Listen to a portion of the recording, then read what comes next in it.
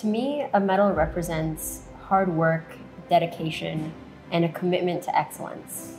To me, a medal represents all the years of hard work and sacrifice that go into an achievement that's worth celebrating. Having the medal is something that you get to share with your friends and your family and loved ones who were a part of your journey in their own special way.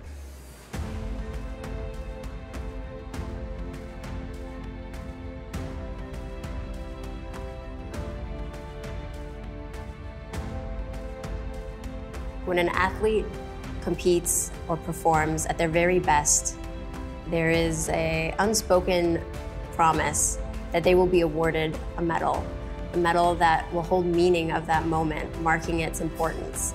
In this case, this empty medal box holds much meaning still because it's a promise unfulfilled. The empty medal box is kind of symbolic to how I feel on the inside having a part of my Olympic journey that is still missing. It's been a lifelong dream to win an Olympic medal, and we had an incredible experience winning that Olympic medal.